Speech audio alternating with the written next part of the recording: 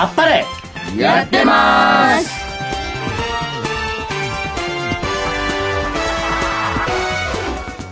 さあ始まりました。あっぱれやってます。木曜日担当城島茂です。自助課長河本です。井上です。川北真由子です。小島真子ですさあこの番組では毎週火曜日から木曜日までアイドル芸人ミュージシャンなどさまざまなジャンルのメンバーが90分間あっぱれな番組をお届けします。はい。お願いします、お願いします。お願いたします。いたします。いやーどうですか？あれから。あの布団をきれいにするなんとかっていう。あ前言ってたやつですか？あれは買ったんですか？買ってなんだっけ？レイコップよレイコップだ。あ欲しいんです、ねまだ買ってないんですいやけど。もう忘れてる。そうそう今名前完全に忘れちゃった。レイコップそそうの程なんですよ。度のもんなんじゃないですか？湯たんぽは？あ湯たんぽもまだ忘れてるでしょあ俺もや。忘れてますよね。湯たんぽやばい湯たんぽ買いますちゃんと。早く親知らず抜きに行こうよ。全部忘れてるやん。そういろいろね。何やってんの毎日。全部忘れてんの。ちょっとバタバタしててね。ごめんなさいすいませんね。あれバタバタしててとかってよく言うじゃないですか、でも自分ではほんまにバタバタしてるんやない。はい。正直、はい。でもなんでできへんのかなって思うことって旗から見たら思うのがあの最近友達とかメールしてもはい。帰ってこない人が多いんですよ、はいはいはいはいはいなんでやろなってずっと思っててむっちゃ嫌われてるな思ってたんですよ僕ずっと、はい次の日に帰ってくるんですか？じゃなく結構帰ってこないえっと、3日ぐらい経ってい気づいたとか結構帰って次の日とかもありますけどそもそも帰ってこない人もいて。バタバタして。あれ悲しくなるよな帰ってこんと。でなんか結局聞いたらもう LINE ばっかやと。はあはあはあなるほど。そっちのメールね。いやなるほどなるほどもうメールはしないですよ。メールを開けることがないんですよただみたいですね。LINE もそれあるよね。あ LINE もある。既読だけみたいうなそそう。だからあの既読っていうのをやめてほしいっていうのがちょっとあったんですよ。既読はしてんのに返さへんのかいみたいな。そうだからすごい僕はそのツイッターとかえっとなんとかってやってないし LINE もやってないんで。やってないんですか？やってないですよ。すごい。むちゃくちゃ楽ですよ。超楽。リーダーちなみにこのメンバーでまだ誰も知らないですよねリーダー。連絡先。僕知らないです。僕も知らないです。リーダー携帯持ってますか？ちょっとそ 携帯前に。です携帯持ってますよ。携帯持ってますね、はい。まずそこです。携帯世代ですか？携帯世代です。よ ですよね。あでもい一時期ポケベルにしてましたね。いや要は前も言ったかなあの1000件ぐらい入るじゃないですかデータ、はい。でどどれだけ友達ほんまにいんねやろかと、はい。ちょっともうこういう縛られた世界からお別れしようと思ってはい。携帯をもう解除してで仕事中にマネージャーさんに「もうスタジオ入ってまうからその間にポケベル探しといて買っといて」お金渡して、ん。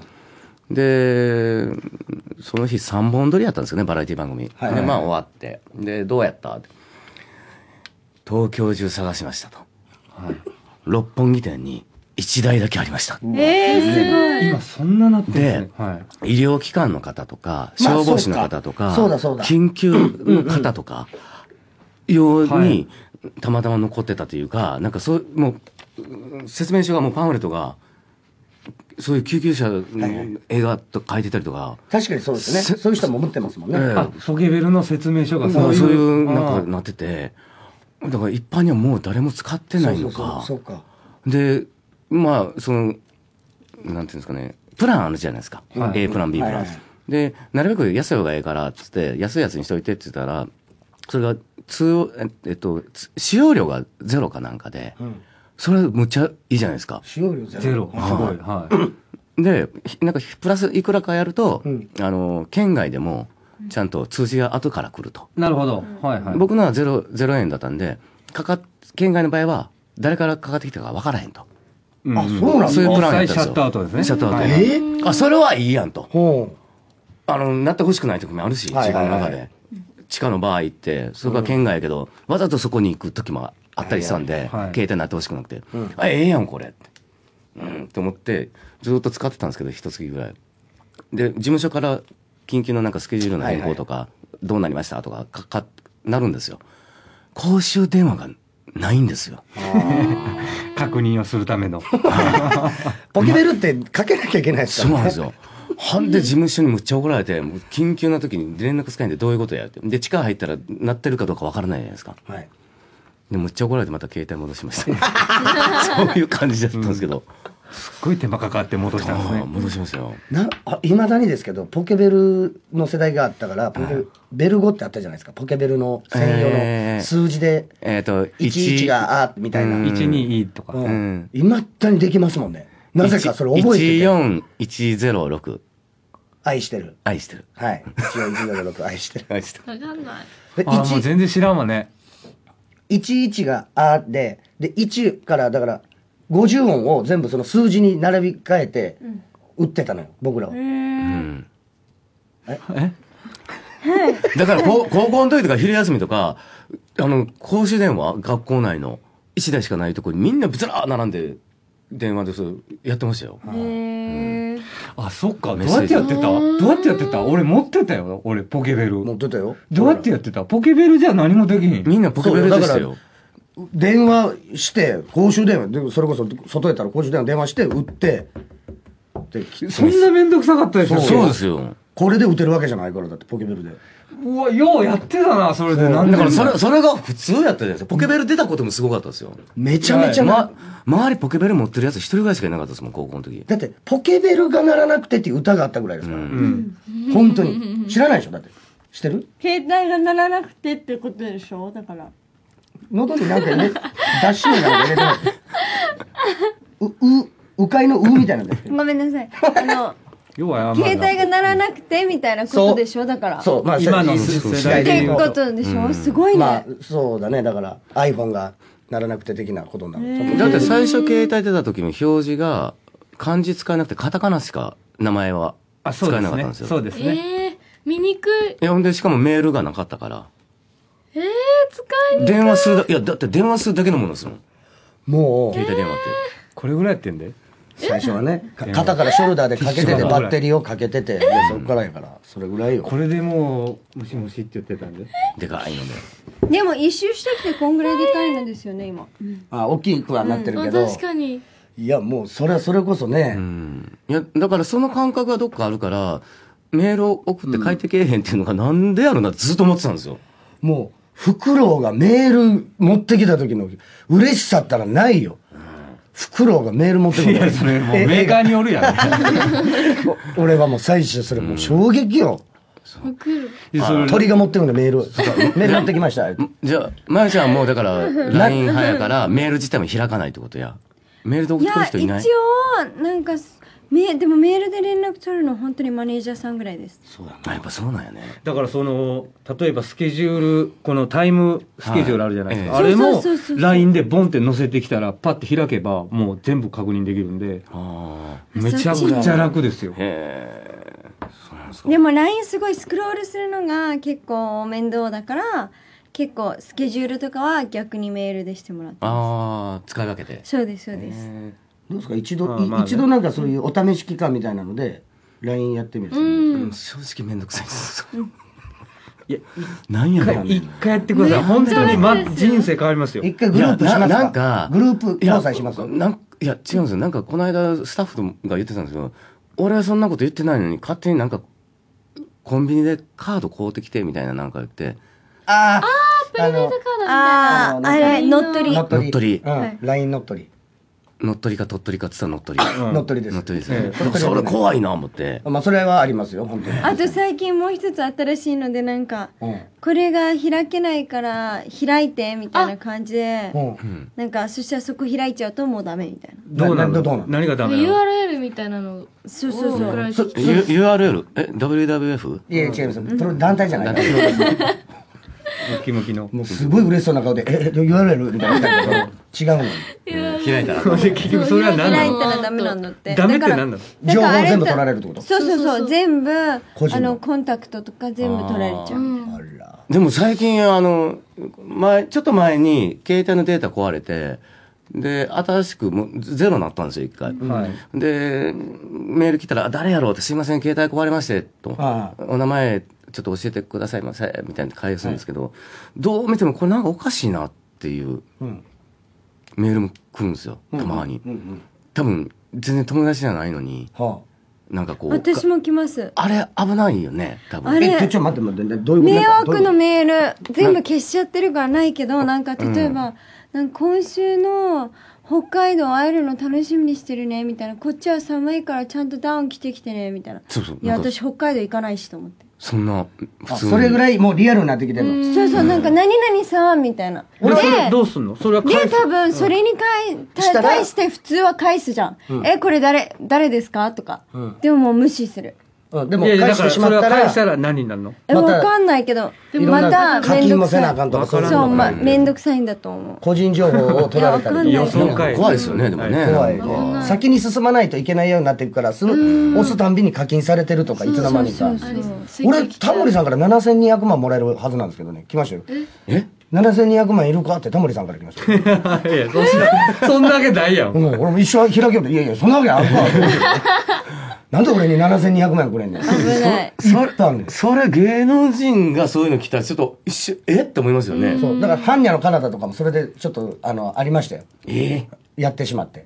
怖っなんかまあだからいろいろまあ芸能人の名前でも来るのであ前田敦子様より届いてますとかメールが。あとなんかあれでしょなんか誰々のマネージャーさんなんそうそうですけど。そうマネージャーがこうやったりとかっていうので、いろんな手を変えを品を品を変えですから。だから別にそれ LINE じゃなくてもあるんですよ、っていうことやね。うん一度どうですか？LINE めんどくさいんですよ。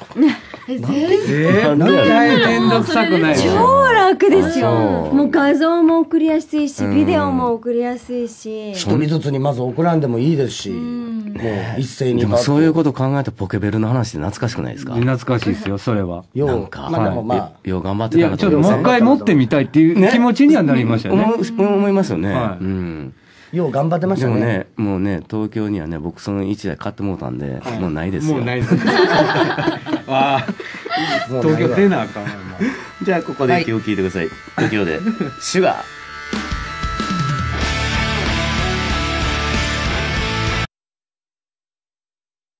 あっぱれデイズのコーナー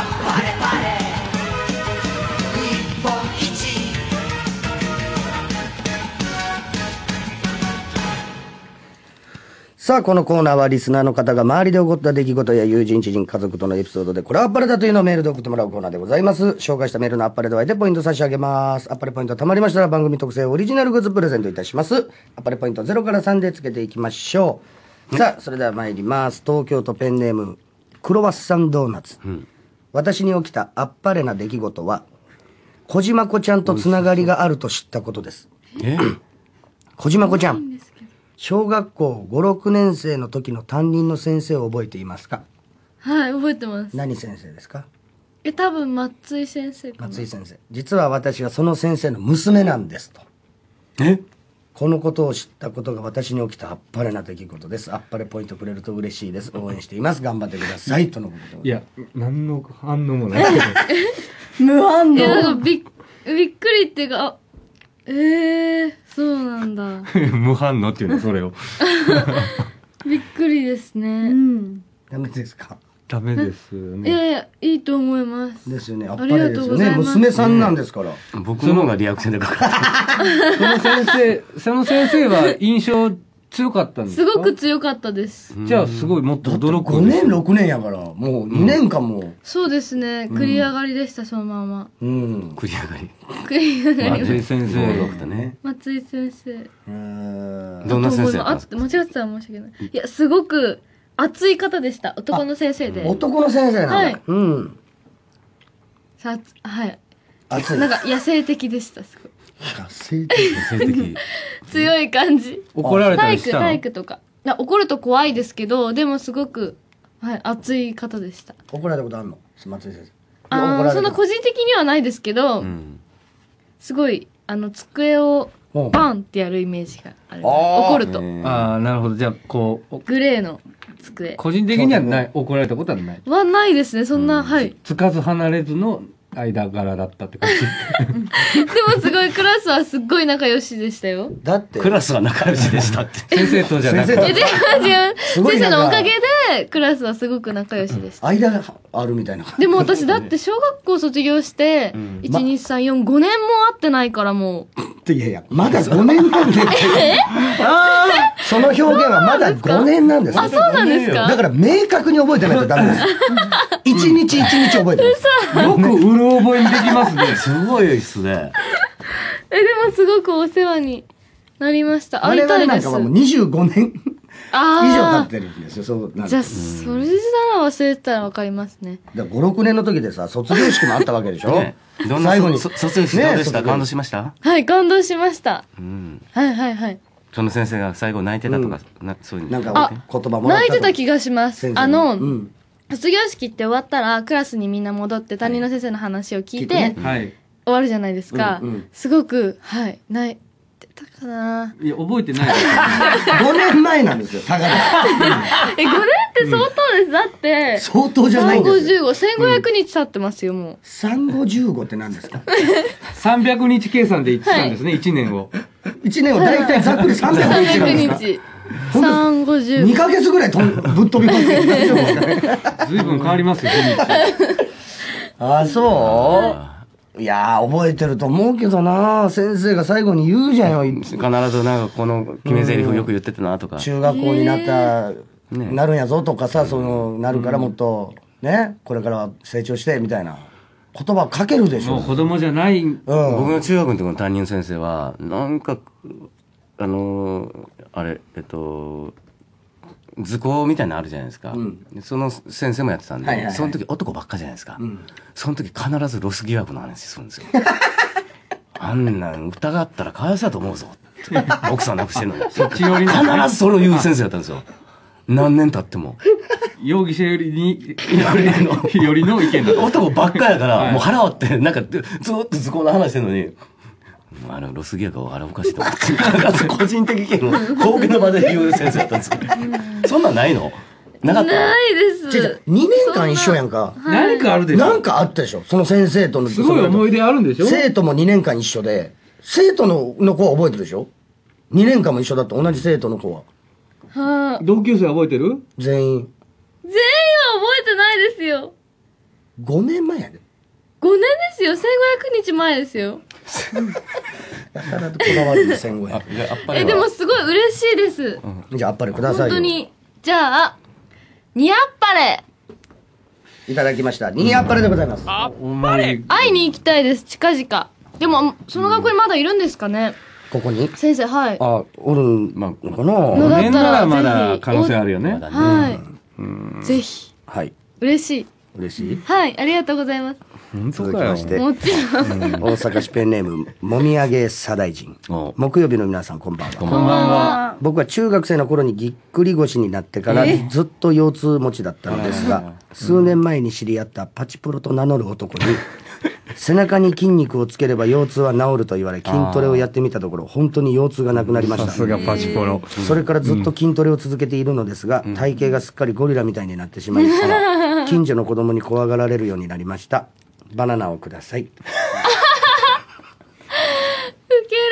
食べれば。バナナ食べれば。ウケる？ウケる。バナナ食べればめっ。ちゃ面白い。超一言。食べればバナナどうぞ。コンビニにも今売ってるしね。いや、くあの、くださいって言ってるんですよ。あげていやー、そうですね。まあ、ちゃんと剥いてあげてよ。え、嫌ですよ。手があるでしょ？だって自分で剥けばいいじゃん。なんで私が剥かなきゃいけないさすがですね、コージ夫人。いいですね。これ違うんうコーナーなんですけどいや、ね。いいでも感じ。まいちゃんあげてあげてよ。バナナ。私から？うん。あげてバナナくださいって言ってバナナ剥いてあ剥げて。食べさせてあげな。どうぞって。え出会うことないですよね絶対。いや待ち合わせして。待ち合わせしてわざわざ？このためだけに？パチンコ屋で。うん買ってきな？あるよ。そう、いろんなとこに今売ってますもん。ないよ。え、ありますよ。どこにあるスタバでも売ってる。え？スタバ？スタバでもバナナ売ってますよ。あそうなんですか？はい。出ますね。コンビニも？一ないでしょ。本折りもあるし、三本ぐらいついてるのもあります。じゃあそれ買ってあげな、この子知らないよ。だから買っておおあれしてあげたら、うん買って持って行って剥いて食べさせてあげな。でも持っていくまでに腐っちゃうからごめんね。確かに。黒くなっちゃう。え海外なの？それ。違う違う違う。だって大阪の方ですよね多分、うん。大阪市の方です。腐っちゃうね多分。腐らないよバナナそんなの。腐ったぐらいがちょうど美味しいんですよ。いや今日買っていつお会いできるかわかんないじゃないですか。忙しくてだから持っていきたいですけど々持っていきたいき気持ちは山々ですけど、腐っちゃうからごめんじゃねああげないんですね。じゃあバナナもなし。なしで、ポイントもなし。なしで。あら。読んだだけか。でも腰痛は筋肉つけた方がいいって。さすがパチプロですね。ね。パチプロも腰痛持ち多いでしょうしね。ずっと座りっぱですから。岸和田市ペンネーム佐田吉。今回僕があっぱれをあげたいのは川北舞子さんと小島真子さんです。二人に？だってめちゃくちゃ休むのに今週は来てくださったんでしょ？なんだその言い方。しかも二人揃ってるなんてこれはあっぱれ以外の何者でもありません。お二人今週は来ていただいてありがとうございます。ちょっとやめてください。私たちレギュラーですよ。すごい持ち上げてくれてるやんすごいですあねりがとうごいざいます。やでも来ていただいて本当にありがとう。いやいやだからレギュラーです会いたかってそんずっと会いたかなったそんなゲスト扱いしないでください。会いたかったんだよって。あ嬉しかった。ありがとうございます。うん、来てくれないからね。やっぱりこのこ二人の声聞聞けないとねこのラジオじゃないし。うん。ありがとうね。確執はないんですよね。うん。おお互いには。確執？うん。確執って何？いや交互に休むけど。そうそうそうここなんかこう交互にあえて休んでんのかな？って違いますよ。違います違います。お互いお互いが生き生きしたいがために？違います違います違います違います。やりにくくはないんですよね。いやいや全然ね。全然なんで今すぐ目そらしたの？違うそういうの言うとだけ意識しちゃうから。違う違う。人狼ならもうバレてるよもう今の。違います。じゃあいいですか？お互いにいいですか？いいところを。はい一個いやはいじゃない。適当に聞いてるから。適当に聞いてるからそうなるかお前ら。違います違います。もう一回お願いします。質問言ってんのに二人で「はい」じゃない。ごめんなさいごめんなさい。だからほんまに二人同時でしたそうね結構息が合ってるんですよもう。いいところをどお互いのいいところを言えますかって聞いてるんはい。です言えます。言だからお。願いしますよ。かわい。いあ可愛い。優しい。優しい。えまだ続くんだこれ 一ラリーで終わりですか？これ永遠に続くやそうよ。え知らないわからないってことですじゃあ知らないい可愛いと優しい。2週目からもうないんですか？もうないんやねなんでそんな巨頭ができるんですか？すごいな。ぁ振り絞って渾身の一撃だったんですか？せめて3つずつぐらいでしょ。可愛い優しい。可愛い優しいってつなった。かわいい優しい優しい。可愛い優しいってきたのよ。うん。で？優しい。かわいい。ずるいな。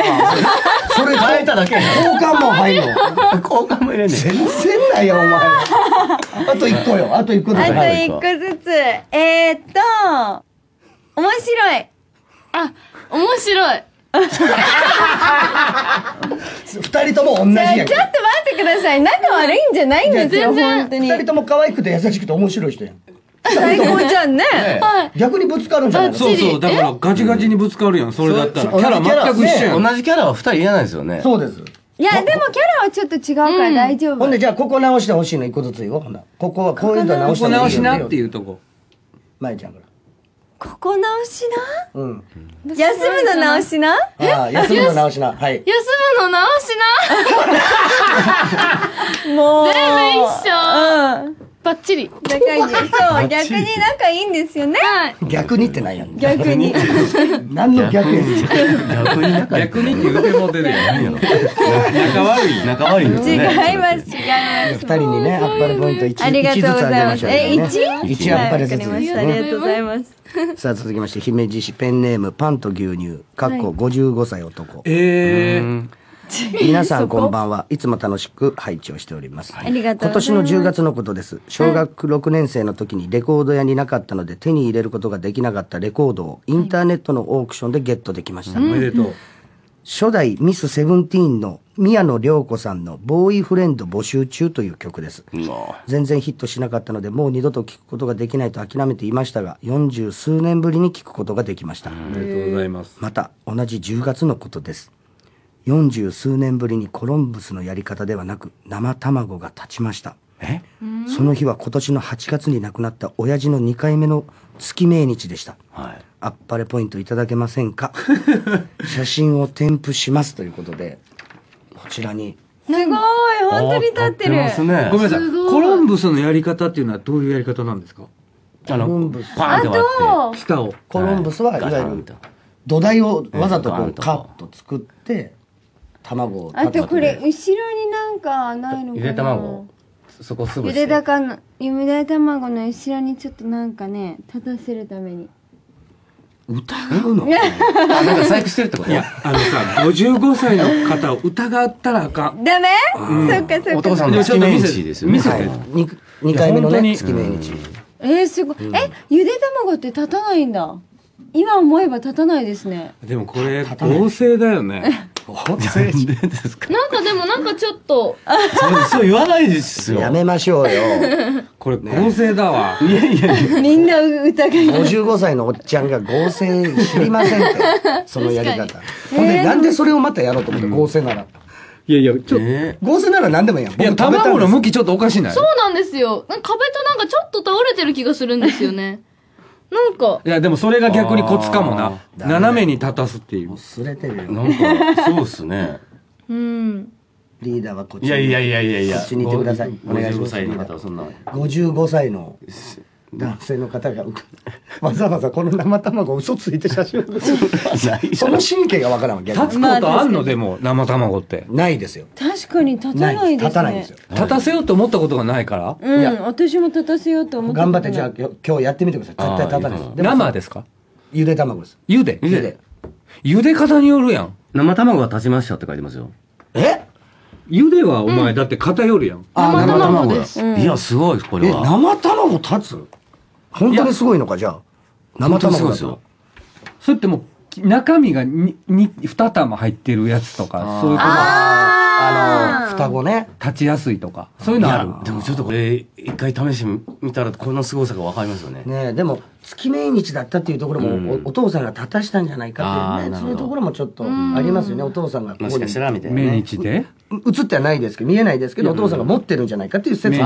命日。で、はい、命日ありえますにね息子が頑張ってやってるから、じゃあ俺が立たせてあげよおう父さんが命日に。手を添え手を添えてね。手を添えてるっていう、そういうお話諸説あります諸説その諸説。ないおんですよ。お手伝いするかな。疑惑しかないんです諸説はないんですこれあっぱれもいてくださいよこれはくださいあっぱれあげましょう、いやでも確かにでも見たことはないし、うん、あと。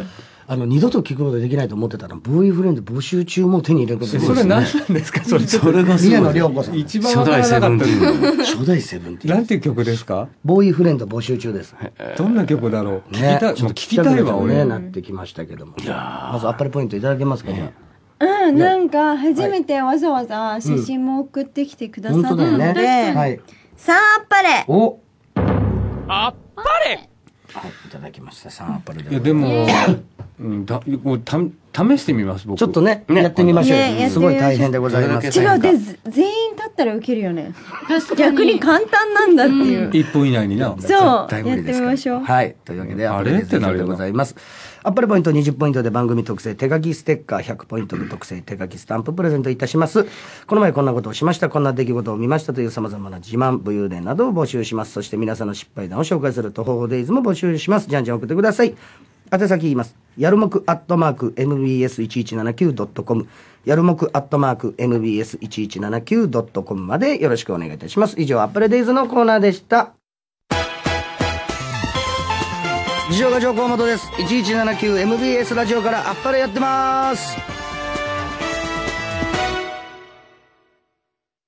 三重県桑名市の菜花の里では毎年恒例のウィンターイルミネーション10日の共演を開催中です国内最大級のイルミネーションが菜花の里全体をきらびやかに彩ります注目の新テーマエリアはナイアガラの滝ダイナミックな滝の流れから鮮やかな色彩の演出など様々な滝の表情や景観を迫力の大パノラマでお楽しみいただけますその他にも光のトンネルや光の雲海など、見どころ満載の菜花の里で感動と驚きのイルミネーションをぜひ体験してください。土日祝日は大変混雑いたします。平日のご来場をお勧めいたします。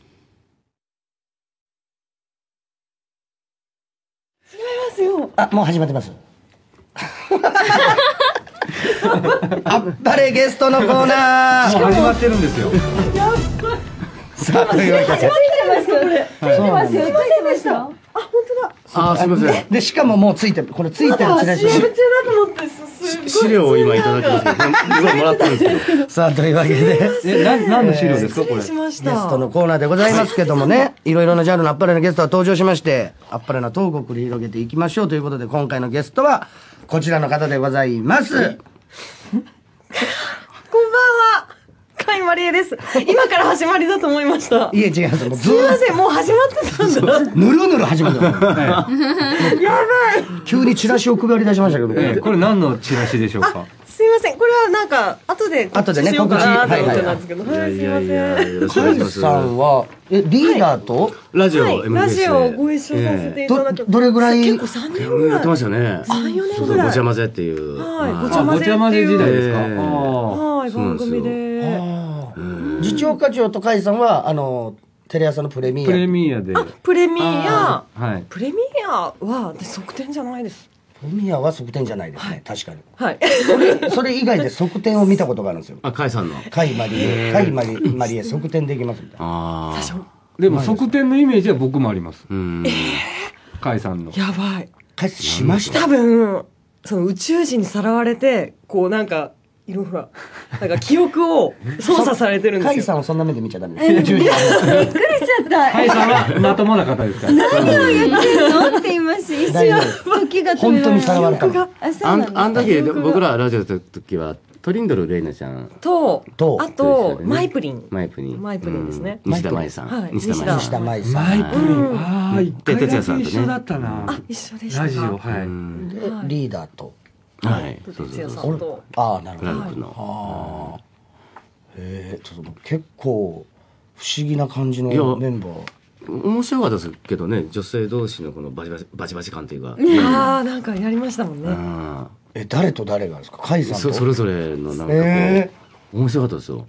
トリンドル。なんか曲結構曲中とか。本音を出してましたよね。怖い怖い怖い怖い。なんか料理料理対決した時にな。はいはい。本当にいやあんまり美味しくないって 言ったりとか。なんかちょっと口に合わないって言った言ったりとか。そうそういうなんかこう突発的にじゃあ今度カレー作ってきてよみたいな。はい。ノリで。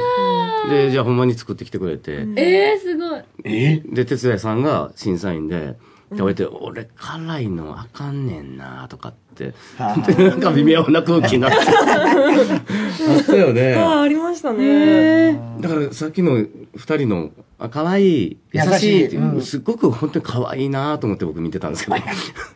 そういう感じじゃないんだ。そあんなバチバチだったんでよ。かったな。曲曲かかってる時が一番怖かったもん。そうですか？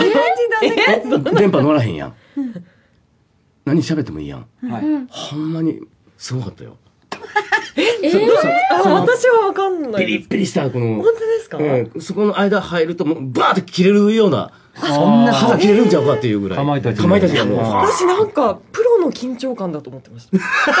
プロの現場の緊張感。あその割には、ものすごい緊張感ないな。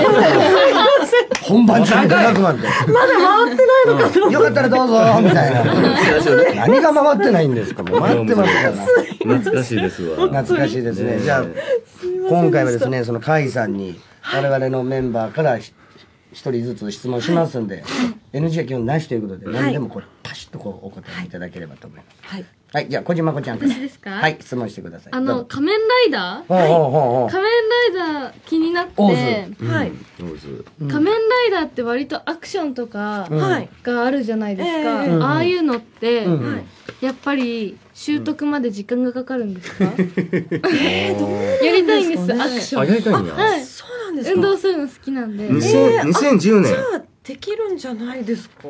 難しいですか？2010年。うん。飛ばされたり。飛ばされたり。なんか私あのこの「仮面ライダー」ではそんなにアクションはなかったんですけどまああったんですけどその前に舞台でアクションをやったことがあってちょっとやってたんですよ。アクション教室とかに。ちょっとだけ通ってたことがあって。どういうことするんですか？まあマットの上でうん。ちょっと空中で回ったりとか、まあ補助付きでとか。爆中みたいな。みたいなのそれできるようになるんですか？そう。ですね。ではいああと合気道もちょっとやってたので受け身系はえ昔から。それではい子合気道。供の時に合気道をちょっとやってたので。受け流すことをもうすごいんだ。そうです考えてたんですね。ね。もうムーディー勝山さん超えてたんですね。ね。はい、まゆちゃん。えっと今までの仕事でこれはもう二度とやりたくないなっていうものを聞きたいですえ具体的に？いや具体的じゃなくていいです。これはさすがに大変だったな的な。これ系とか。ああなるほど、うん。なんだろう。あるのはあるんですか？何系が嫌まあやらい。なくてもいいかなっていうやつあはあ水着かな、あうん。水着かいさん水着やられてないんですか？あ水着やってますやってますね。だからやってますよね。やらなくていいかなって。いやでもそれはみんな見たいんですよ。わ。え、かいさんってわ白いワンピースみたいなの着て海海辺いませんでした？あいましたいいままししたした。はい。そうですよね。えそれプライベートでですか？なんで俺プライベートないさんそんな激レア見れるんですか？俺。ついてってるやん俺。カイさんって言うやろ怖すぎるカイさん何やってんすかって言うやろ俺はそれもそれも見たことありますから。かいさん。そうなんですか？はいはいはい。あ DVD 系ですか？ですねへーうんあそれはや水着はあんまりいいやりたくないんですか？かなっていう。なんか年齢的にやる時じゃないかえ、なかいさんおいくつなの。おいくつでしょ34です80年なんはいですね。80年ですはいそんあんま五つ下ないんや。ほんまですね。もっと若いと思ってましあありがとうございます、私はもっと若いと思ってます。そっか、そんねえ。二十八区。あ、二十二十代だったこと。ありがとうございます。20代と思って。あれ、ラジオやってる子って、かえさん20代でしたっけ？どうだろう。ギリギリ ?30 ギリギリもうそ30なあ30ああもう30ぐらいだったんですね。っか。じゃあ水着系はちょっと。水着はもういいかなみたいな。うん。でも34になったからこそ見たいんですよ。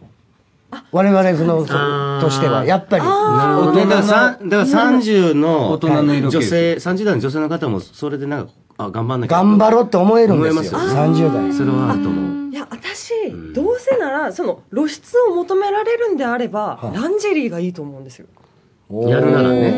あそうなんか水着っていうのが水着イコールは水泳の時に着るやつじゃんみたいなえななんですなんで水着なの？みたいなのがあっうんて。じゃあ下着の方がいいってことですね。それなら。の。方が私がもしプロデュースする側だったら女の子をプロデュースする側だったらうん。水着とかじゃなくてランジェリーなんかかっこいいランジェリーを着あせたいなドスケベなやつですか？ちょっとそれは、ちょっと赤のね、レースのやでもスケベが。モテるやんってやつですよね。あ。でもそっちの方がかっこいいですね。かっこいいかっこいいですよね。かっこいいですか？うん。なんか水着ってうん泳ぐものってういう。感じがして。うん。下着で泳いでもまたいいかもしれませんねいやでも、甲斐マリエという人の34歳でしょ？の下着姿をちゃんとリアルに見せてくれたら、すごい見たいんですね。見たいですよ。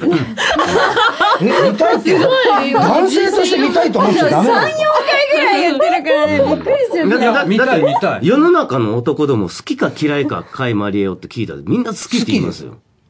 ありがとうございます。そりゃそうでしょ。ねうん。で下着姿見たいか見たくないかって言ったら全然見たい。見たいねじゃあそれをあえて見せないみたいのがいいんじゃないですか？そうですよね。なんか見だから別にたいけど、うんうん。そう。だから別にやらなくてもいいかなっていう。なんであえて見せなくていいなんでそのその止えそれめるのよ。興味がわあごめんなさい。じゃあ見せてください。のよしよし。先輩が言ってますからね、見せてください。はい。いいですか？見せてもらって。今です。はい。いやいや、ダメです。ね。ラジオで見せるわけないでしょ。いやいや、違います。やりません。一切触れないでずっと脱いでってもらっていいいやいや、やりませチラチラ見ますけど。やけんけんみたいな。じゃあ続いては。あうーんと今オスカー一緒って思あそうですね。はい。事務所が一緒って思ったんですけど、あのーなんかあるよね年齢がいくつまでダメとか。あ、あります、一応ね。あります。で甲斐さん今年齢の話してたけど、恋愛とか結婚とかどうなんですか？今後なんか ね20いくつまではなんか恋愛禁止？25まで禁止なんですけど。とかいうあのそうですあったりするカイさんはまだ未婚ですよね。未婚ですはい。私入った時確か30過ぎてるんですよね、うん。はいはい。もう3年目だから、うん。はい。だから別に何も制約がなくって、うん。マネージャーさんからも、うん。あの30代はいつでも結婚していいからみたいな。ノリで、うん。いやいや そそんな中で。そんな中ですか？そんな中で、うんまあまあ現時点もそうですね、はい。今現状。現時点はもうこういう感じです。あら白紙。白紙。あら、うっさ本まあそれは相手はいても白紙はあるのいや相手もいなく当て。いいる状態での白紙ですか？前前一緒にラジオやってる時なんか一人で温泉行ってきたとか何やかんやってあ絶対男と言ってんのにそうんうんうん。一人で行ってきたとか言ってたんですいやよ。本当に一人でうん行ってて、で突っ込まれてたじゃないですか。よく。そうですね。一人旅そんなんするかよって温泉行ってきたって言うんですよ、よ。ううんん、ハワイも一人で行ったんです。いや。ハワイは一人で行くとこじゃないよって言われたけど、そう。だから多分当時僕は、あ彼氏はいやいらっしゃるんやろうなと。なるほど、はいで事務所変わったってことはいろいろあって結婚に向けてちょっと着々とやっぱりね意見数23ヶ月で付き合って結婚よりもやっぱ23年経って足場固めてんやろな今頃と思って、うんうんうん。でちょっとどうなんかなと思っていやもう全くですね。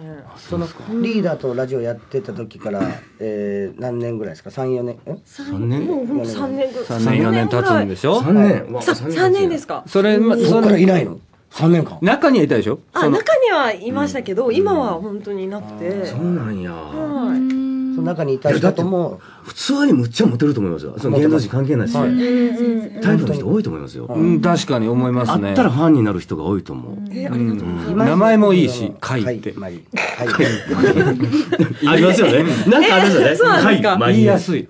え貝。芸名ですか？なんで？ー、本名です。おい、貝って言いたいもんな。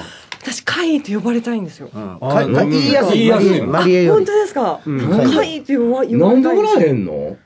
いや私が聞きたいんですけど。いやこれ高いと思います。やっぱりその理想が。ごい人求めてるんですか？いやもうめちゃくちゃな。別に別に求めてないですよ。じゃあもうあのこれこの条件だけクリアしてたら大丈夫っていうやつだけ教えてください、うんそれ一発ください。はい、面白い人。だいえいいですかもう？はい。あとはお顔ももう全く容姿も。もう何でもいいんです。多少体型も。た多少。その材料も。ほらその多少がでかいんですって理想財力家の廊下セグウェイで行く人、それぐらいのレベル。あの、セントレア空港みたいな。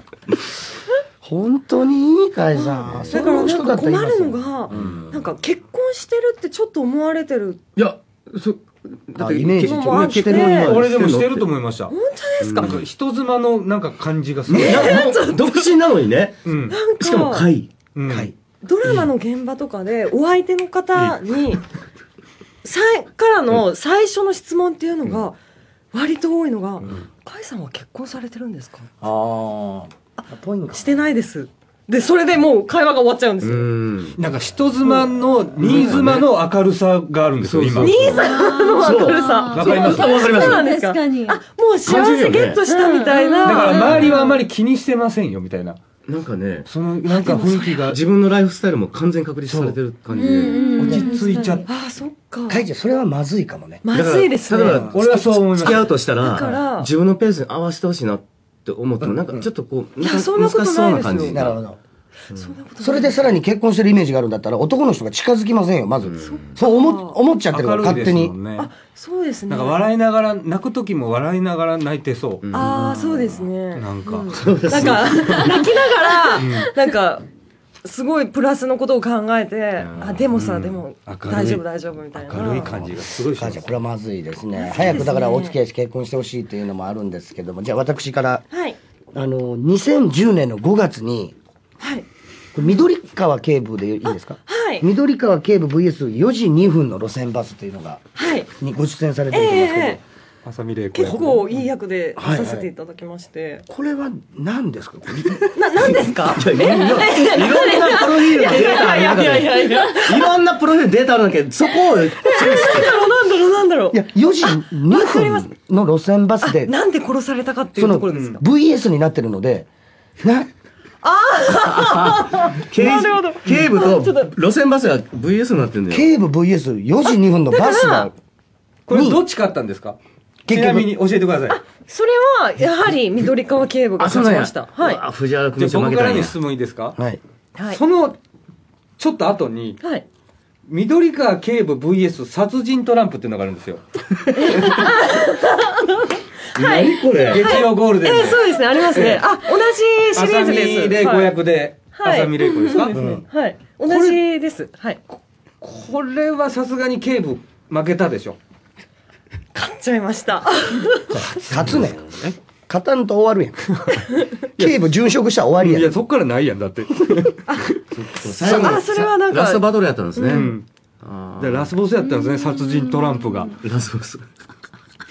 もったいない質問で、しょお前消化してもうてんけ。二つ、お前これ言ってもうたらもう、俺らで。え？もう終わり、質問タイム終了やん、もう。一個しか無理なの一人一個って言うてたやん。何を緑川警部で二個言ってもうてんの？はい、いろいろね、ちゃんとあの答えてくれましたけども。はい、あありがとうござはいい、ます。そんな甲斐さんがですね、うん。お芝居を、はい、ちょっとこちらのお話。いきなり配ってくれたチラシ。そうなんです僕ら持ってるよ資料の一番最後にもうついてたんですけどもね。ねえ、そうみたいですね。タイトルは？すいません。こちらあリインカーネーションリバイバルと言いまして、これは、こうタイトルだけ見ると、なんか英語だから、あ、洋物かなって感じなんですけど、三国志です。はい。あれこれ前もやそうなんです。あはい。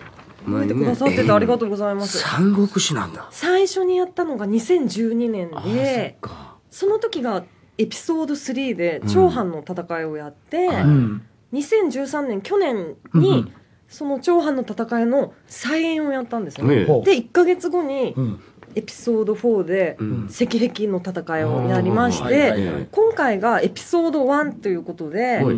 後金うんあたりをやるということです。はい、甲斐さんは何の役ですか？私は漢夫人だったんですね、うん。前回。はい。ですのであの夫人になる前ですね。まあ漢ああ、はい。そうか。漢夫人でもうその時は、うん。私えっ、と長藩の時はもう後もいまして、うん。うん。でも劉備と結婚してたんですね。あうん、ーまあ原作では側室なんですけど一応制裁ということで出てて、へあそこはちょっとやっぱりあ変えちょちょっと変えてるんだ。少し蒼天航路に近い感じです。はい。西田大輔さんの。ああ、まあ漫画でね、はいありましたね。はい。蒼天候で今回は劉備と出会うところぐらいな感じということで、はい。劉備はちなみに誰が？劉備は佐久間さんです。劉備は佐久間さはいん。劉備だけはは劉備さん劉備がやるんじゃないですね。本物がやるんじゃなくて。バックスバーニーですか？じゃないんですよ。ロジャーラビットバ バックスバニーパターンじゃないですね。じゃないです劉備だけ絵とかですね。そうじゃなくて。はい。全員じゃないんです。出ます。はい。そういう逆パターンじゃないんですよ。えー東京が、えー、東京が12月19日からはい29日まえで。結構ギリギリやりますね結構やりますねねで、大阪が1月10日と11日で、はい、やらせていただきます。はい産経ホールブリーゼ。ちょっと私は、ここは行ったとこれが大阪ですね。三景ホールブリあーズ。北新地の近くや。うん。そうですね。JR 大阪駅の近いでめっちゃ近いああ、梅田か。す。で、東京の方が、はい、どちらで？東京の方がはい新宿駅が近いですね。ええ新宿駅南口から徒歩5分のええ。全労祭ホールスペースゼロうん。というところで、スペースゼロやらせていただきます。これ、正月、年末年始大変ですね。そうですね。三国志の話で結構言葉が難しいんじゃないですか。結構そのいろいろの。何何を言うんでしょうね。中国語ですもんね。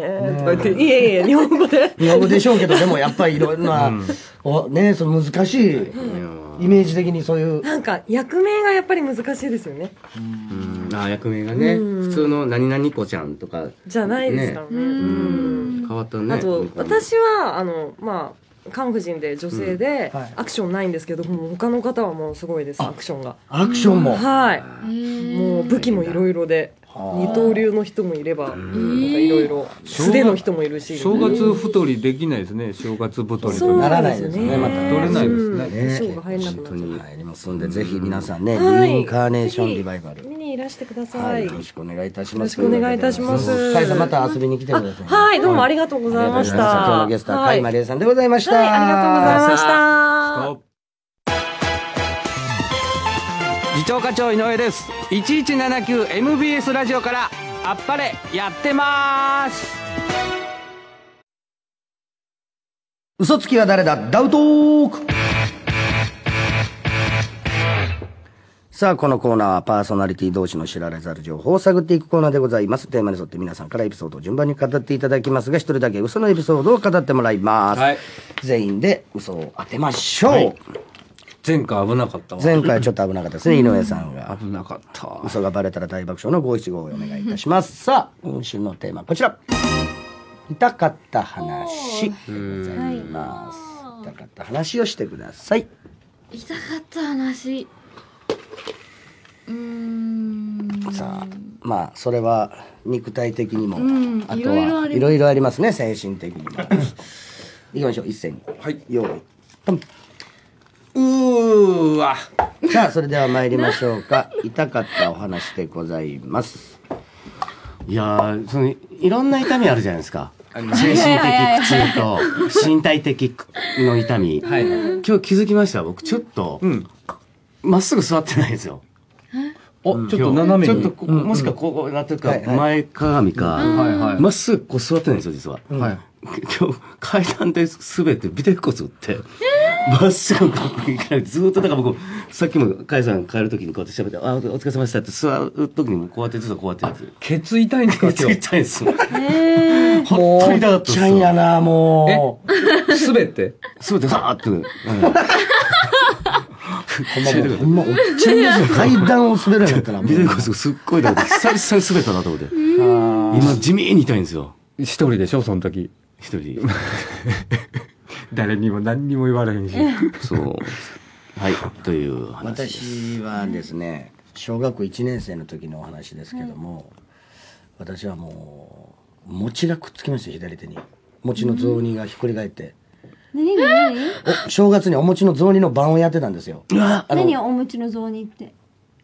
おお正月に食べるのをねお餅まずお餅って言うんですよ、お正月わかるまずわかりますお餅が入った鍋と思ってくださいはいはいはい。はい。それをね見ててって。で,、できたら言うお母さんのとこに言っておいでっつって、で大人はもう正月は飲むんですよ。だからちっちゃい子供、俺6歳、うん。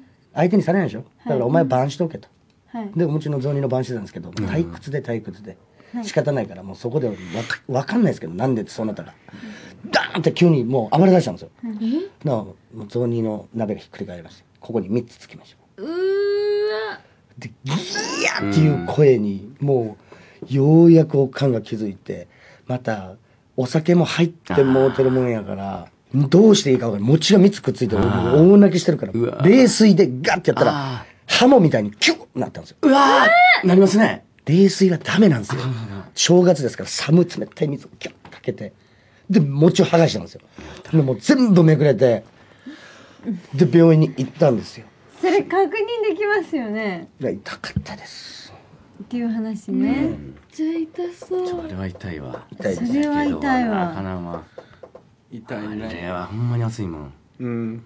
痛かっあれ、でうん。出てこない。あたどうぞ。あ。どうぞ。あどうぞ。どどっじゃあち私ですか？あれなんかどうぞ。私も階段つながりなんですけうんど駅の階段をめっちゃなんかまあ痛いくはないんですけど駅の階段を痛かった話ですあのちょっと心の方がちょっと心の？はいあらはい。ああどうぞどうぞ。うん駅の階段を上がってたら靴が緩かったみたいでスポーンって後ろに行っちゃって恥ずかしかったっていう心の痛みの話。うん痛いですかね。どうでしょうか。ま以上です。本人次第ですけども。えだってめっちゃ恥ずかしくないですか？恥ずかしいですよね。で取りに行く時が一番恥ずかしいんですよ。どこが痛いですか？心です。恥ずかしいのが恥ずか痛いってしいはい。ちょっと難しいですね。うんあまああの初めてねちょっと階段とは全然つながらないんですけど、初めてサーフィンした時にいきなりハワイでやれるってなって。ねうーん。あ分かった。で「うわやった」っつって向こうからね頑張って波乗りやすいうん。波が来たから頑張れっつって乗れ乗れたんですけど、おちあのどこでやめていいかわからなかってはい。途中でやめたんですよもう、はいなんかうんゆっくり岸まで行くの恥ずかしいから。でザボンって潜ったら下サンゴやったんですよ。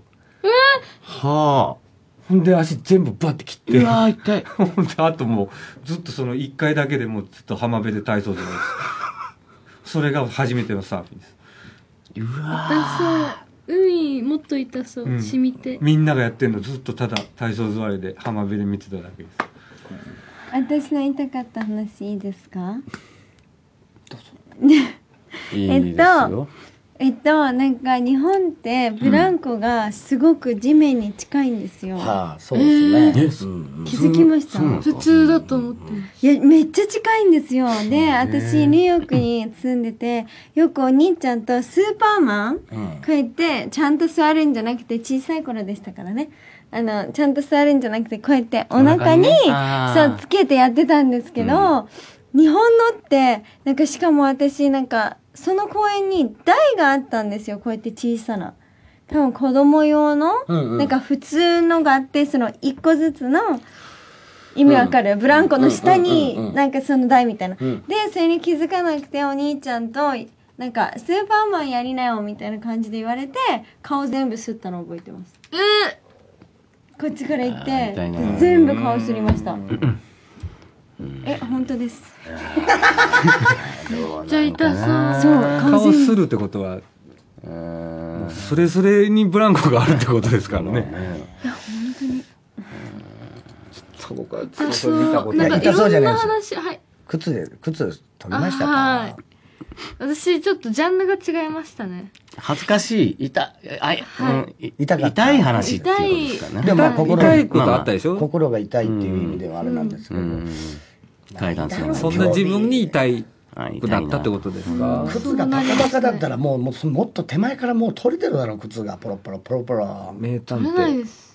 歩きですもん。いそこまでは耐えてたんだよね。ぴったり足に合ってたんだよねそこまで。や違いますよ。いや、でもサーフィン、僕やんないかわかんないですけど、そそんなすぐ近くにサンゴあるんですか？あるんですよ。それがもういいポイントほどそう下が荒れてるんですよ。これは本当にマジです、そんなとこ危ないじゃないですか。危ないですよ。だからみんな岸まで来るのにはい。僕お前だろ。え？お前だなおい。そんなね、そこまで近くないですよね。浅くないですよね。うん。ブランコで顔するかな？俺ねいや場所場所言いましょうかそこの。ブランコがそれもう幼稚園が地面より下にある幼よね稚園の裏の公園ですよ。だからみんなちっちゃいんですよ。あー。ああでも本当にあより小さいんだ。そう。僕、小室さん、やけどの後ありましたっけ？僕全然見たことないですね。あります。あるんですか？ああります。後があるんですか？あります。ええやけどしたことあったお前。あります。いい人生でよ。あります。人生で一回もないよね。持ち剥がして病院行ったんですから。で病院行ってベロベロにお酔っ払ったおかんが説明聞いたんですよ。医者から。豚のケツの皮が伸びますよと。え？豚のケツの皮が人間の皮膚にあって成長とも言いますね。豚のケツの皮かお母さんの皮膚移植どちらがいいですか？っつったらおかん混乱して私のケツの皮使ってくださいケツとは指定してないのよ。酔ってるからね酔ってるからだからおかんのケツの皮もらってます。ほんまですか？時は母なり。本当に。時は母なり。おかんもアップル社みたいになってます。ケツだからちょっと。ああ、でもこういう話聞いたことあるかもしれんな。ほんまかも。リーダー。痛いですか？いや痛いだろ微妙に痛いんですよ。痛いだろケツ滑った時の方が痛かったどこですよ。で滑ったんですか？あのうちの会社があのエレベーターあるんけど4階建てで、もうみんなタレントとかもエレベーター待ってて遅いから、階段でバーッと行っちゃうんよ。で、これは本当だ。行きます。予想。えもう聞かへんの？いやこれは絶対本当だと思います。だああ、そうってパッて出たから。えー、嘘。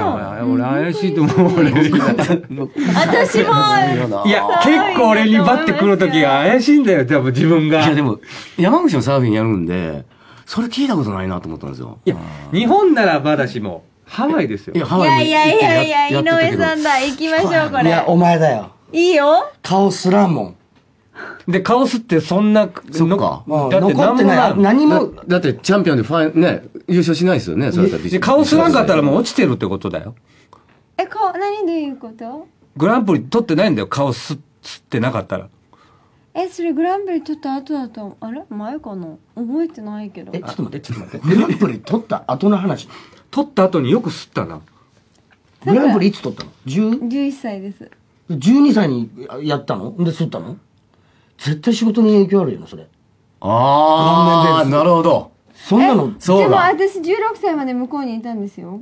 うん。いや仕事してないの？11歳優勝してから。してないです。5年間。してないです。2000空白の5年？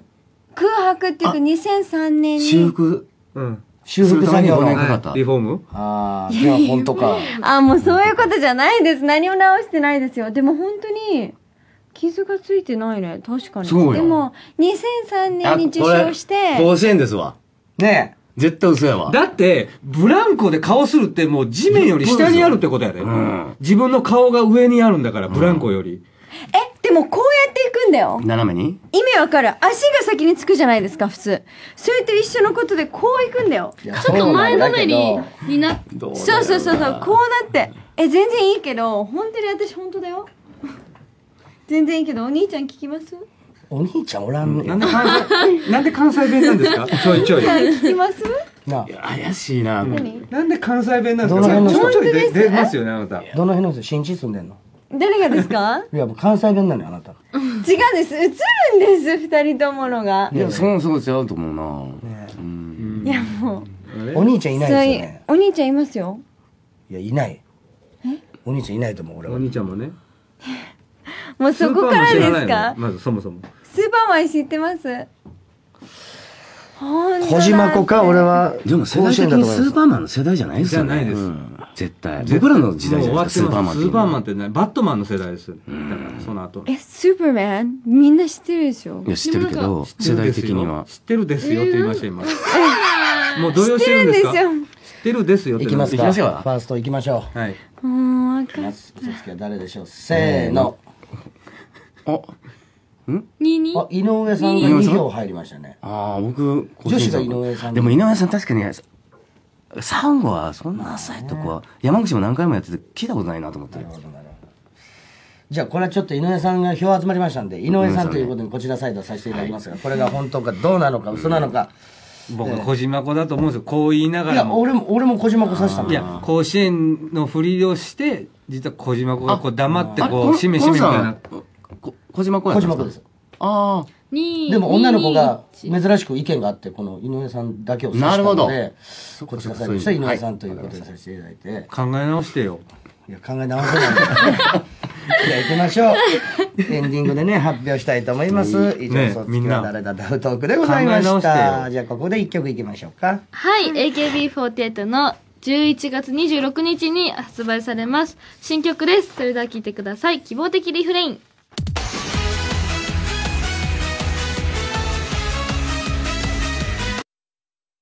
さあ、というわけで、はい。来ました、ダウトークの。あ。みんなね、それぞれで、普通にプライベートで喋りすぎ。ごめんなさい。お前、言えや俺もうイヤホンしてなかった 私もしてなかったです。しとけ言うてんだよ。お前ら。いつも入ってくるけど人が言ってる時に。喋っとんねん、グリグリ他の素晴らしさを今、僕が。ここっちは知らんもう、こっちはコッペパンの凄さを語ってたんですよ。さあ、というわけで、はいえー我々サイドは、井上さんというはいはいまず井上さんちょっといいですか？ちょっと待ってはい。もう一度考え直していただくわけにはいきませんでしょうか、いきません。これはもう決まりましたから。いやー、五七五だな、これは。楽しみ。大学生のご一同待ってますからね。それはもう。行きましょう、まず井上さん。はい。いや、もう、せーすの。ごいな、本当なんです。えほんまに切ったんですか？本当に切ったんです。左足を、ざっくり。ね。ね。いいましたからね。え？いましたから。いましたって？その現場に。あ、いたんすか？はい。もう。でやっぱりそうだと分かっちゃうじゃないです。か分かってるから井上さん指してないし、僕は小島子だと思ったんですよ、だから。なんでそれを僕にねじ曲げたんですか、あなたが。あなたが代表して、女子が言うから。こんなに女子が言うと思ったら。だから考え直してくださいって言ったんです、僕は。じゃあ、小島子ちゃん。はーい。だと思うんですよ、ね。開けますよはい私。はい。せーの。じゃーん。リーダーちょっとほんとなんかスーパーマンちゃうの？ねえ、ちょっ怖いと、そこまで来たら俺も信じられへんけど。いや、もうほんとま、怖い。まあいいよ。だとしてもいいんだけど、それを本当に、本当だと思わせるために、ずっとやるこれ。何？があ、なな、ちょ、あの、本当につけないから。いや、もし嘘だったとしもうずっと前傾で喋ってますもんね。いや、今もそうですし。うん。えー、ちょっとほんでいつもね怖い。あの、でしょ？たまり場にも座らなかったんですよ。あ立ってうろうろして。え、わかんない。誰やと思う？絶対俺、小島子だと思うんだけど。いやいやいやいやいや、ほんと。いや、だから二人が選べばいいじゃん。脱だから、誰だと思うか。いや俺でも小島子がなんだよお俺俺の中では俺のやつは知ってるから、もう絶対俺は本当なんだよ。このどっちかなんだよ。あ本当に。僕かちゃんってお前こうん、おぼお俺はもう本当にやけどの後ももうああるでしょ。本当なんです。といや僕それだってあありますねほんまや、はい。やいや、だけど、餅じゃないかもし僕僕はもうれない。本当なんです。だから、この二人ずっと嘘ついてる人がいるんですよ。俺も信じられんわ、これは。怖いわこれで一斉に開けてください。えいやちょちょ待ってどっちだと思うんですか？いや、僕はリーダーが、リーダー僕ですかリーダーがやってたらすごいと思う。僕はリーダーリーダーにする僕リー僕ですか？リーダー。行こう、一斉ので行こ一斉のでう。ね。一。斉ので、ほらーリーダーや。すいません。なんなのその仕込み。え？ずーっと普通に座れますよ。いやー。階段も全部嘘。階段もそうそうそうそう。いやでもねなんか今日に関してはえらいショートだなと思ったんですよ。どうしようかなって嘘めったに来ないじゃないですか。全然思いつかんで確かにね嘘え、でも、なのに、私が、え、どの階段ですか？って言った瞬間に、事務所の外のって、もうすぐに答えたから、確かに事務所いやあなたすぐの階段はね騙されましたよねすぐ。あ本当だって言ったもんね。事務所の階段は本当にそういう感じでエレベーターちょっと時間かかるからみんな結構ほんまにそれはでもなんで今聞いた時にそんなパッと思い浮かぶんいやですか？絶対言われるやろなと思って。でも、それは、普段、本当に階段で行ったところがあるからよ、それは。そうそうそう。うんそこは本当なんだよ。それは事務所は本当？お前、階段ほんではない。ほんまに顔面すったか、お前？ちょっといいですか？いやもうそれ本当であろうが 本当なんだって本当であろうがよ兄貴おるか、お前。あおりますこれ嘘引くとドキドキしますねするんですよ。うん、します。これでもどうですか？小島これ嘘だと思うんですよ 靴脱げました。脱げたんやから。本当に。いやー、そうでしたか。ごめんなじゃあ疑ってそうか、リーダー。ここに来てのリーダーかというようなことでございましたけども。もう五七五まで考えてましたもん。当てられたなと思って。うんなんか俺もちょっと考えたもん。考える必要ない。いやあんだけ言われたら。考えい。や違う違う。本当や。もうあんだけ言われたら俺嘘なんかと思うもん。もう一回見直したくなりますよほんまに？とか言われたら。ごめんないつも俺疑ってて甲子園。本当だよまだ言ったことないよね、でも五七五。私言ったことはないですけど一回だけ嘘が来ましたよこの間私あー2回も言ったあ、もう五七五言ってるもんな。はい経験者やるな。2回も言いました。かわいいかわいいでも嘘がつけないからいいじゃん、ね。本当だよね、でもそういう意味では。さあ、えー、こちらお便りが届いてましてですね、島根県のペンネームしまちゃん。やるもぐの皆さん、こんにちは。こんにちは以前番組内で井上さんは吉本男前ランキングで男前で殿堂入りしたけど河本さん何にも入らなかったという話されてたのを覚えてますかと。はい。その時に川北ま甲子園舞子がうん。河本さんも1位を取れるよう投票しますよと言われたと思うのですが、はい。先日2015年のランキングのアンケートが始まりましたよと、もう川北さん小島子ちゃん河本さんが1位を取れるよう投票お願いしますね、項目がいろいろあって、男前なパパメガネが似合うスーツが似合うヘアスタイルがかっこいいなどなどいろいろな項目があるんですってなんかそこに、で私は男前なパパに投票しました。そしてリーダー。ジャニーズでもこういうランキングはやらないんでしょうかと。こうやんないですね。ねだから一度やってもらいたいんですが、その重機の操縦が似合うランキングとか、自然と触れ合っているランキングがあったら、もう絶対リーダーがもう入ると。1位ポンポンと来るということなんで。えーそういうの取ったことないですね僕あのベストジーニストとか。あ取らないですか？僕はないですね。ちょっと狙いませんか？うちリーダー。うちだってえっとねなんかあのとビッグサイトかなんかなんかそういうイベント会場あるじゃないですか、はいはい。東京とかでも。でメガネ店があったんですよ、ん。メガネのサイサイトっていうかなんかそういうはいはないんか集まりが、でそ僕メガネかけるんで行こう思ったんですけどパッとネットで調べてて行くのやめたんですよ。あ。なんでなんですか？ベストサングラス賞の授賞式があってそこで、はい。永瀬が当日選ばれた 選ばれていい行く予定だったみたいでそれ僕普通に客で金払って行ってどないすんの？ほんまに縁がないっていう。メンバー受賞してんのに、うん僕金リーダー払ってがかわいい。可愛いですよね。それ嫌やのでだからこれ結局新コーナー募集しようかと思いまして、おおーあっぱれ木曜日のメンバーが1位になれるようなランキングを考えてくださいとリスナーの方に募集します。まあ、例えば、川北舞子が1位になれそうなランキングです。はい。なんだと思います？自分が1位になれそうな。え英語が上手い芸能人とか？英語うまい芸能人ランキング違います、すぐタメ口を聞いてそうな。これでもダントツの1位です。2位でもがハーフ系強いからね。ね。でも2位にローラ来てます。そのローラも超えて川北あーえ私1位じゃないでしょ？1位です。例えばでしょ？例えばなジョイユージ抑えて。ジョイユージローラ川北甲子園。いやいやいやいや。これがもう一人桁が違いました。桁がね。万秒いきましたねこれこういうやつを考えていただきたいなるほど。はい。真顔と笑顔のギャップが激しいタレントランキング1位小島こちゃん。みたいなあそういうやつを考えてくださいという。はいはい。はい。いやでもリーダー俺ジーニスト取ってほしいななんか取ってそうじゃないですか？なんかあの太一はベストオブコットンっていうのを取ったみたいでコットンが似合うってコットンのセーター着て新聞なんか取材を受けてましたよ。なるほど。じゃあそういうの取りましょうよ。んですね。面じゃあ俺白いな思って。リーダーに俺結構取ってほしいんですよ。そそういうんのなんずるないですか？ベストオブコットン？どこで見たん？太一さんがコットンのその けど。コットンの感じを。すごいですね。そうコットン着ない人いないでしょ？まあまあ大体ね。ねえ。うん。あるよねコットン。大体コットンでしょ？コットン似合わない人いるの？逆にって。そうやな。ベストオブニットやったらわかるんです。ようん。ベストオブニットっていうのもあると思います。何があんの？それ全部あるの？タイガーある何あん。のベストオブジャンバーとかあんの？調べ出したらもうキリがないと思う。むちゃくちゃある。うん。あるですよね。だから取れるんですよ。だってメガネをベスメガネドレッサーですか？ああれを取りたいからっつってね一生懸命1年かけて聖子さんいろんなメガネかあーすごいけて頑張頑張ってやってるんですけどかすりもしなかった。ら落選どころの騒ぎじゃない名前も出なかったで。うん。あんだけね毎番組全部サングラス変えてるんですよ。何百個持ってんのにかすりもしないんだよ俺っつって。むっちゃ切れてたからじゃあそういうのちょっと一回ちょっと見て、ね。あのうん。やりましょうよ。はい。私なんか花嫁姿が似合いそうな芸能人みたいなのやりました去年あ選ばれたん？今年かな、ん。はい、うん。選ばれました。何位だった？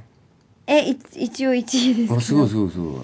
なんなんで今そんな急に言うてきた違う違う違う違う。そういうのもあるリーダーに対ねして自慢かい。何も取ってへんねんぞ。俺らご俺らご機嫌ようの5月賞取ったからね。5月何それ。マイナスいるわ ええわちょっと行きましょうじゃあ。行きましょうね。行きましょう。はい。はい。以上でございます。ということでよろしいでしょうか。はい。はい。ということでお別れの時間でございます。えー火曜木曜もえー聞いてください。火曜木曜じゃ火曜水曜も聞いてください。水曜は。ということでお相手は東京のリーダー城島茂と次長課長河本と。井上と川北麻由子と小島真子でした。それではまた来週。さよなら